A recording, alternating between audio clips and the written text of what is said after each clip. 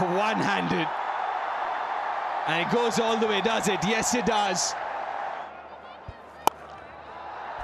Has he found the gap? Yes, he has. Starts the over with a boundary. I'll make that 20.